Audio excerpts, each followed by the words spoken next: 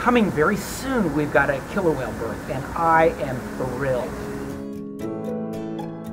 Killer whale births are a, a, very rare event, even for those of us who, who work at SeaWorld.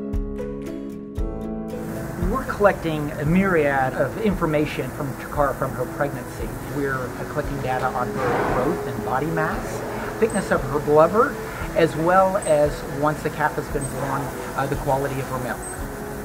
Everything that we know about killer whale reproduction, even the length of gestation, the weight at birth, and that sort of thing, comes from uh, animals born at, at, at SeaWorld.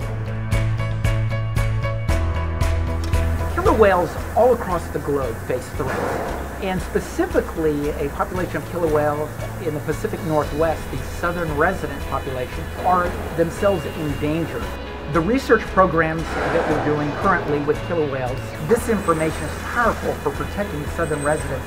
It all amounts to us learning from these amazing creatures and sharing that information with researchers and conservationists in such a way that can benefit animals in the ocean.